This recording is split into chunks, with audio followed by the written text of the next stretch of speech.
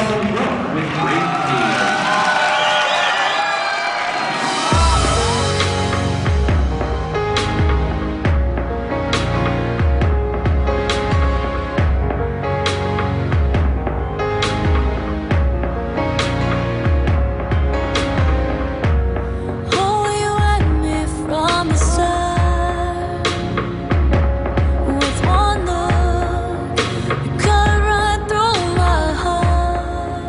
I do the chin stand, there was a line of tape on the stage where I was supposed to turn, and my neck got stuck on the tape, and it like gave me a big brush burn. So I have scars all over my chin.